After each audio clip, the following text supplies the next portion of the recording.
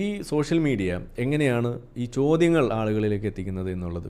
ഞാൻ സത്യം പറഞ്ഞാൽ ഇതിലേക്ക് എടുക്കാൻ വേണ്ടിയിട്ട് ചിത്രങ്ങൾ പരതി നോക്കി. ഒന്ന് രണ്ട് ചാനൽസ് പോകണമെന്നാണ് ഞാൻ വിചാരിച്ചത്. പക്ഷേ എം എം അക്ബറിന്റെ ചാനൽ തന്നെ ഒരു മൂന്ന് മാസത്തെ വീഡിയോസ് എടുത്ത് നോക്കിയിട്ട് തന്നെ എനിക്കിത് തീർന്നിട്ടില്ല. എന്ന് വെച്ചാൽ ഇനിയും താഴോട്ട് പോയാൽ ഓരോ വീഡിയോ ഇവരിടുന്നതും ഇതെല്ലാം വിശ്വാസികൾ കണ്ടു കഴിഞ്ഞാൽ സ്വാഭാവികമായിട്ടും വിശ്വാസികൾ ഈ ചോദ്യങ്ങൾ ഏറ്റ് ചോദിക്കാൻ തുടങ്ങുന്നു മാത്രമല്ല ഇതിന്റെ ചോദ്യം ഒരിക്കൽ ഇവർ ചോദിച്ച് അന്വേഷിച്ച് യൂട്യൂബിൽ ഒന്ന് സെർച്ച് ചെയ്ത് കഴിഞ്ഞാൽ സ്വാഭാവികമായിട്ട് അവർ എത്തിച്ചേരാൻ പോകുന്നത് നമ്മുടെയൊക്കെ ചാനലുകളിലാണ്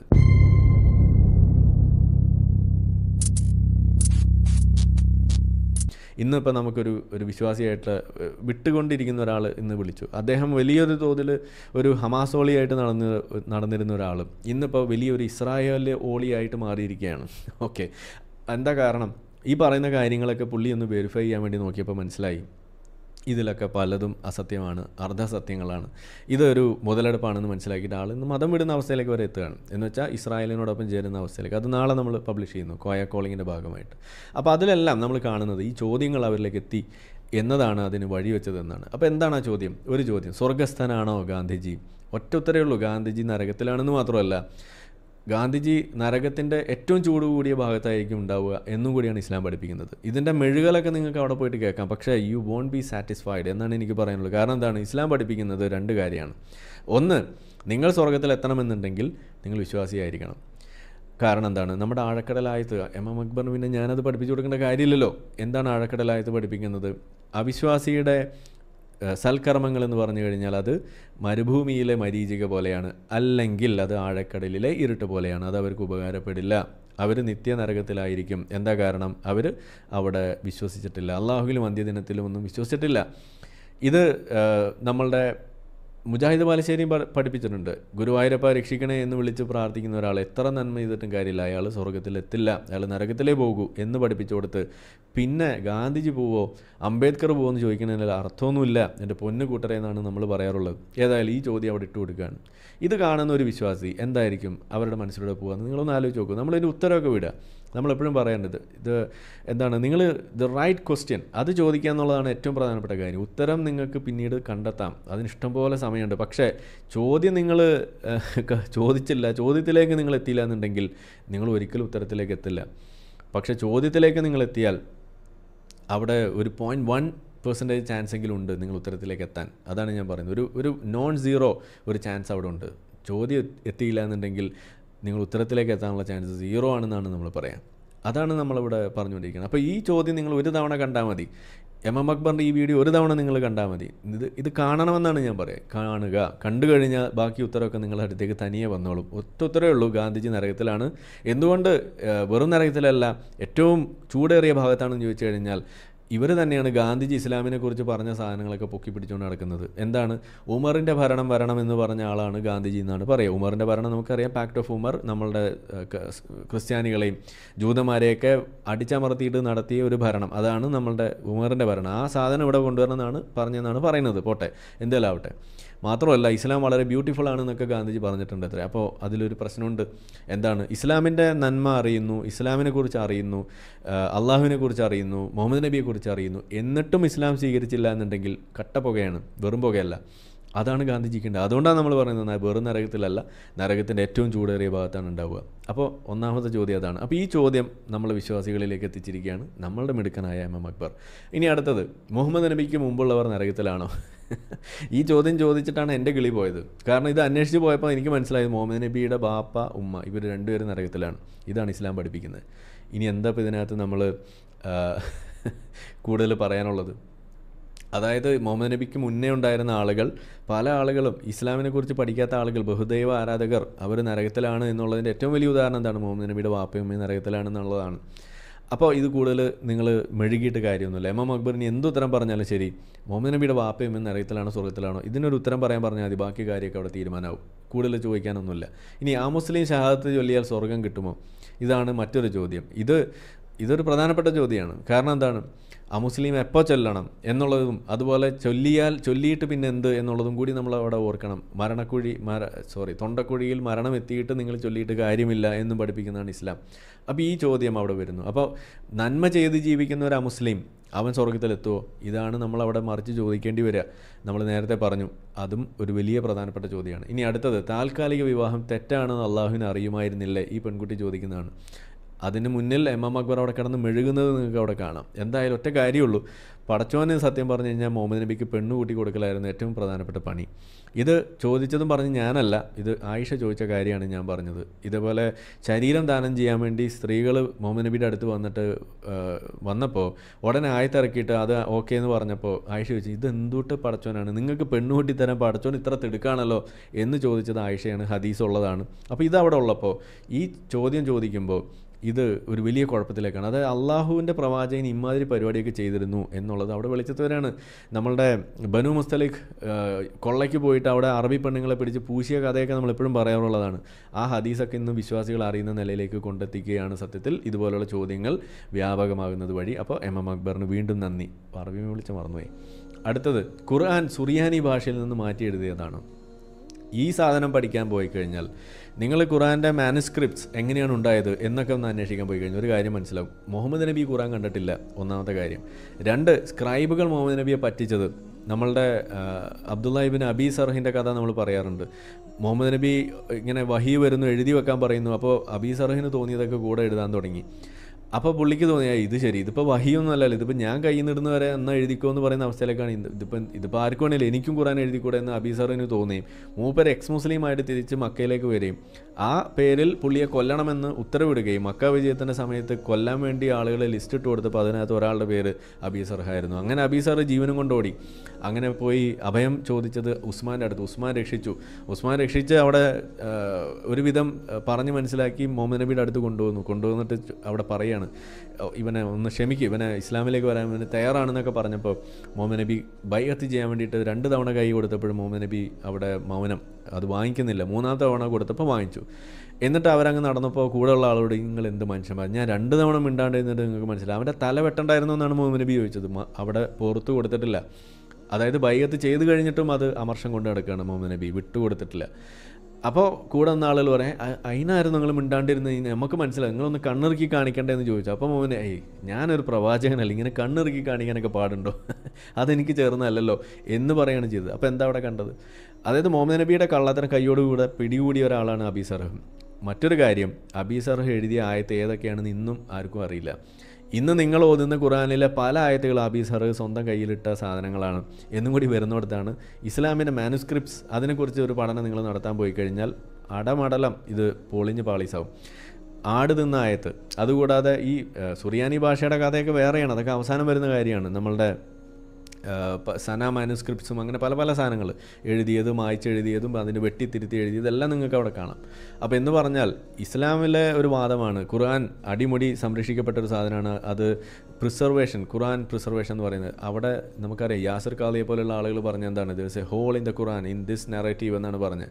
അതായത് ഖുർആൻ പ്രിസർവ് ചെയ്തപ്പെട്ടിരിക്കുന്നു എന്നുള്ളത് അത് നമുക്ക് അങ്ങനെ പച്ചയ്ക്ക് പറയാൻ പറയുന്ന കാര്യമല്ല. അതിനകത്ത് കുറച്ച് പ്രശ്നങ്ങളുണ്ട് എന്ന് സംബന്ധിച്ചത് ഒരു ഒരു ചരിത്രം കൂടി ഇവിടെ ഉണ്ട്. അപ്പോൾ അത് നിങ്ങൾ അന്വേഷിച്ചിറങ്ങിയാൽ ഇസ്ലാമിലെ ഖുർആൻ അവിടെ സംരക്ഷിക്കപ്പെട്ടിരിക്കുന്നു എന്ന് പറയുന്ന സാധനവും അവിടെ പൊളിയും. അപ്പോൾ അതുകൊണ്ട് ഈ ചോദ്യവും എത്തിച്ച എം എം അക്ബർക്ക് ഒരു വലിയ നന്ദി. ഇനി അടുത്തത് പരിണാമവാദത്തെ എന്തിനാണ് തള്ളുന്നത് എന്ന് ചോദിച്ചിട്ട് പരിണാമവാദത്തെ തള്ളണം ഇസ്ലാമിന്റെ വാദപ്രകാരം.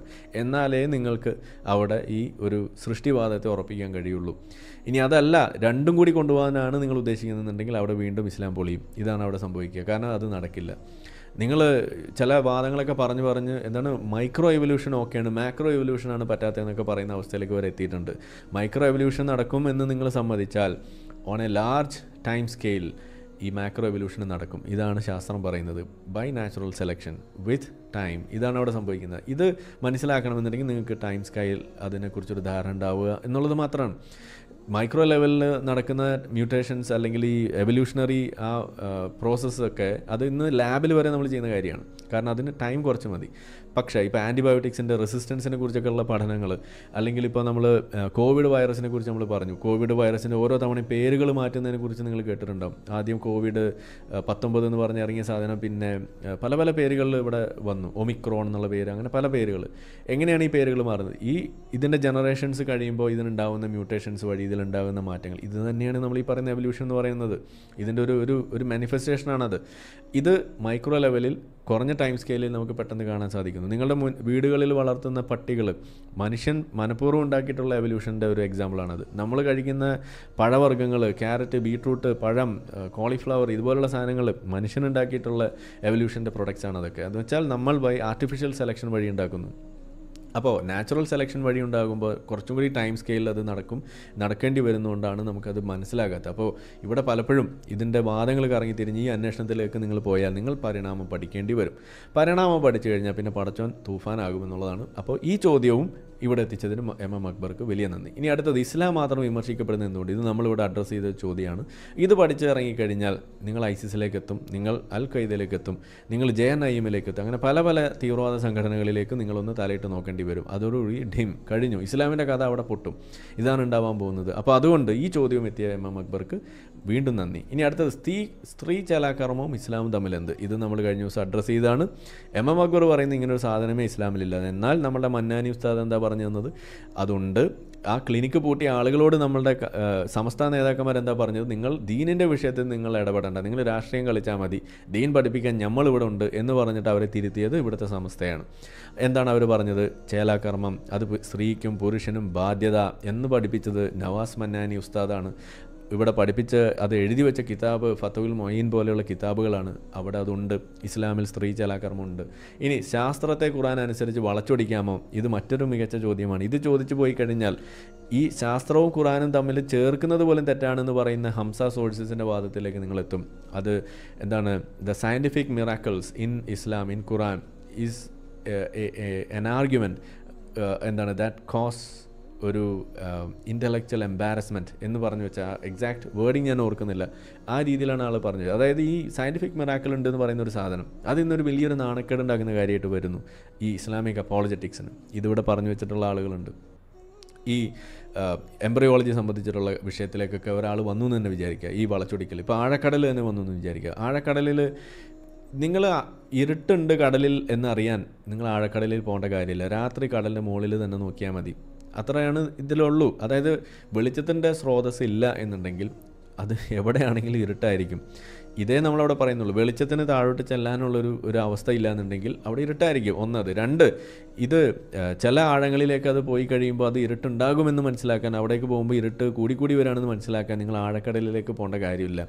അത് സാധാരണ മുങ്ങി ഈ വെള്ളത്തിൽ മുങ്ങി മുത്തും പഴമൊക്കെ വാരി ജീവിച്ചിരുന്ന ആളുകൾക്ക് നിരന്തരം നമുക്ക് മനസ്സിലാവുന്ന കാര്യമാണെന്ന് എം എം അക്ബർ തന്നെ ഈ സംവാദത്തിന് ശേഷം ജബ്ബാർ മാഷുമായിട്ടുള്ള സംഭാഷണത്തിന് ശേഷം സംവാദത്തിന് ശേഷം സമ്മതിച്ചത് നമ്മൾ കണ്ടതാണ്. ഇത്രയുള്ള കാര്യം അറബികൾക്ക് അറിയാമായിരുന്ന ഒരു കാര്യമായിരുന്നു.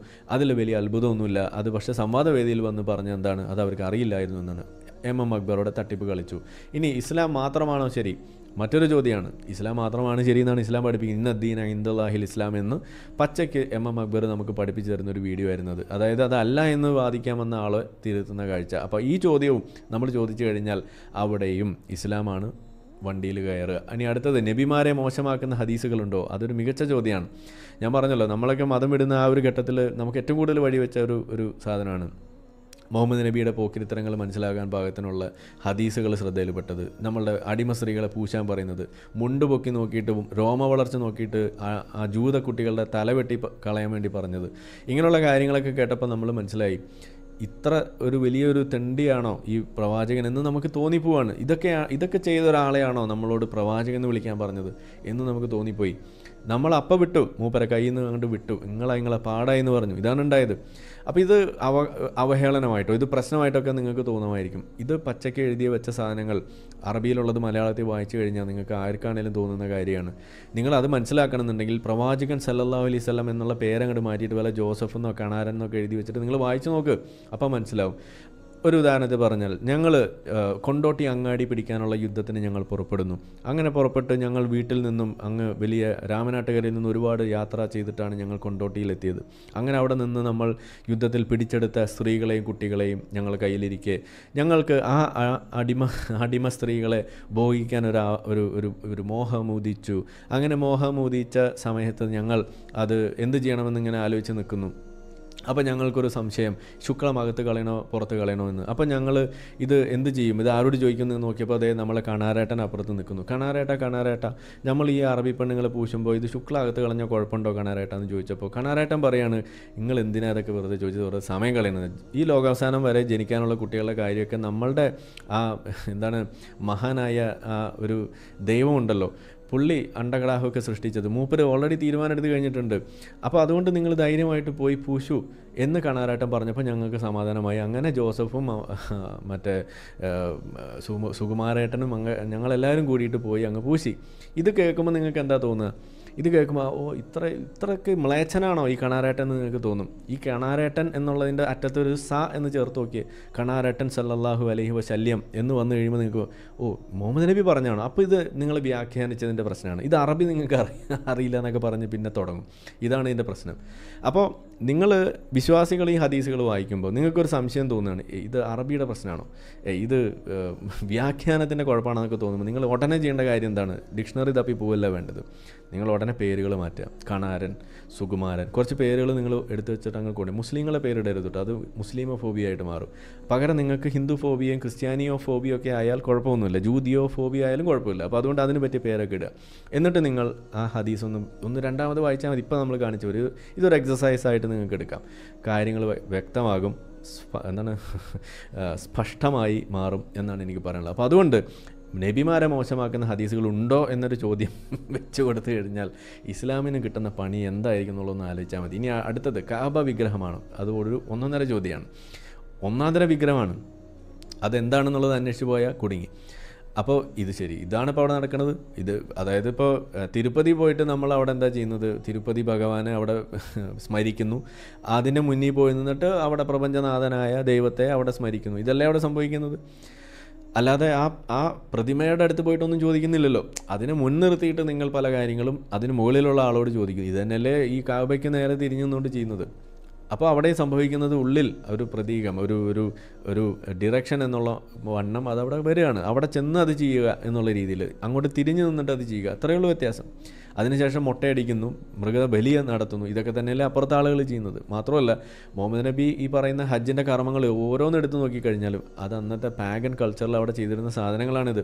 ലബൈക്ക് അള്ളാഹുമ ലബൈക്ക് പോലും ആ പ്രാർത്ഥന പോലും അത് അന്നത്തെ പാഗൻ അറബ്സ് അവർ ഉപയോഗിച്ചിരുന്ന പ്രാർത്ഥനയാണ്. കാരണം അവരുടെയും ദൈവം അള്ളാഹു തന്നെയായിരുന്നു ഈ കാര്യത്തിൽ പക്ഷേ അതിനോടൊപ്പം വേറെയും കുറേ ചില ആളുകൾ ഉണ്ടായിരുന്നു എന്ന് മാത്രം.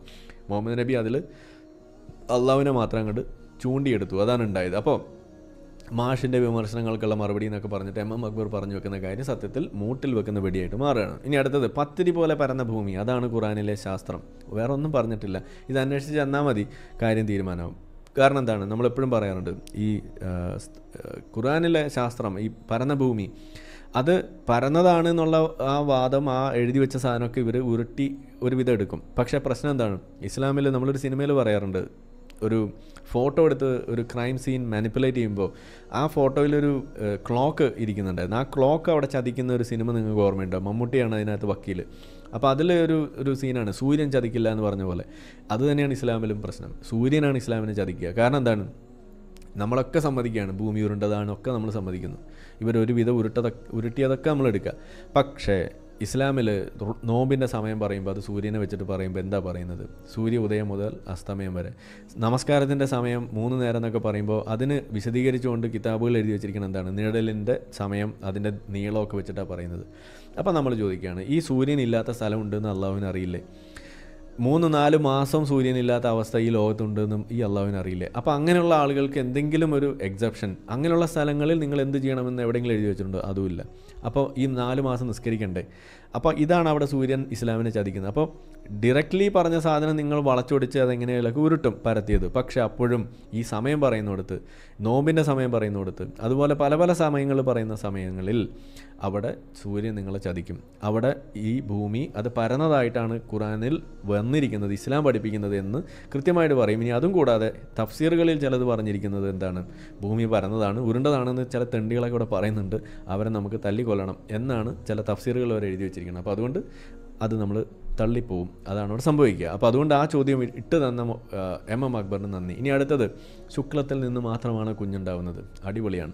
ഇതും അന്വേഷിച്ച് വന്നു കഴിഞ്ഞാൽ ഈ ഇസ്ലാമിൽ എഴുതി വെച്ചിരിക്കുന്ന ശുക്ലത്തിന്റെ കഥ മുഴുവൻ പുറത്തേക്ക് വരും. ശുക്ലം മുഴുവൻ പുറത്തേക്ക് വരും.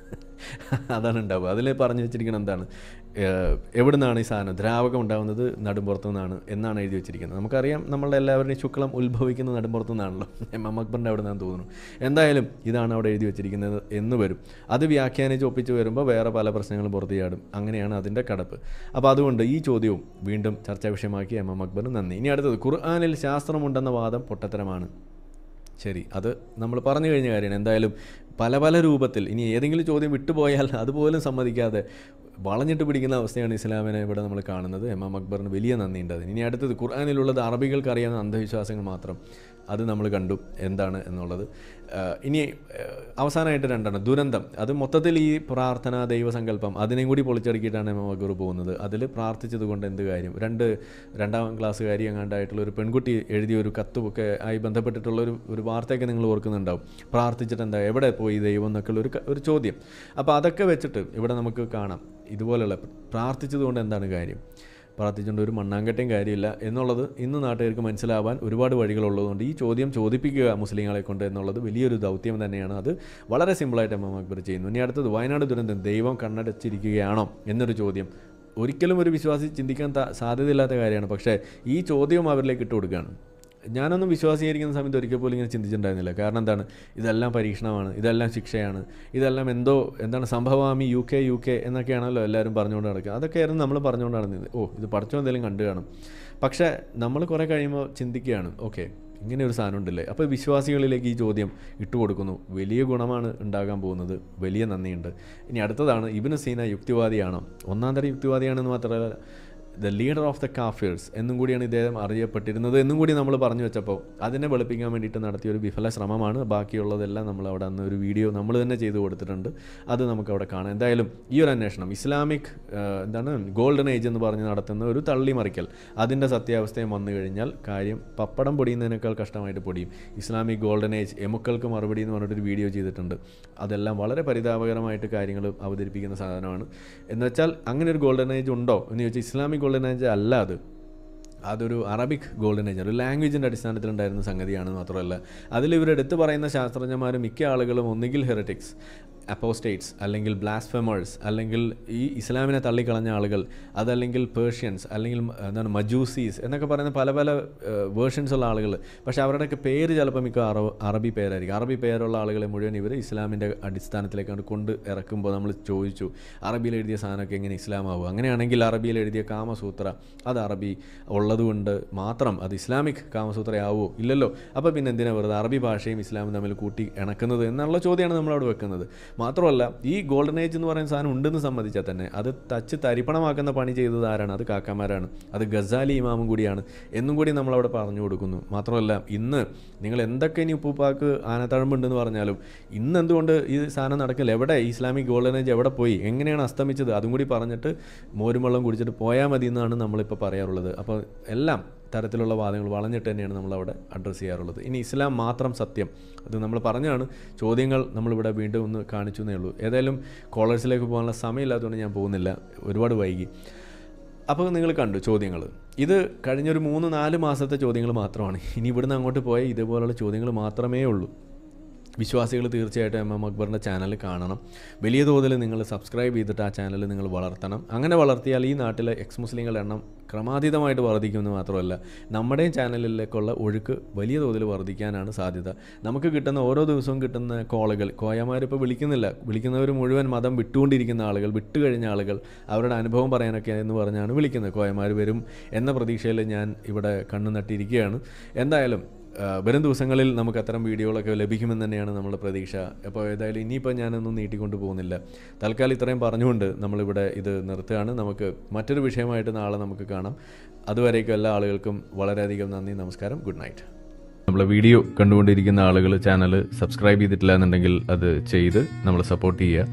മറ്റു രീതിയിൽ സപ്പോർട്ട് ചെയ്യാൻ ആഗ്രഹിക്കുന്ന ആളുകൾക്ക് അതിന്റെ ഡീറ്റെയിൽസ് ഡിസ്ക്രിപ്ഷനിലുണ്ട് നിങ്ങളുടെ ഓരോ ലൈക്കും ഷെയറും അതുപോലെ കമന്റ് ഇടുന്നതും ഇതിൽ ഈ വീഡിയോ അതിന്റെ താഴെ വരുന്ന കമന്റുകൾക്ക് നിങ്ങൾ പ്രതികരിക്കുന്നതെല്ലാം തന്നെ വീഡിയോയുടെ റീച്ച് കൂടുന്നതിന് വലിയ തോതിൽ ഉപകാരപ്പെടുന്ന സംഗതിയാണ്. അപ്പോൾ അതുകൊണ്ട് അതിൽ നിങ്ങൾ ഏർപ്പെടണം എന്നും കൂടി ഞാൻ അഭ്യർത്ഥിക്കുകയാണ്.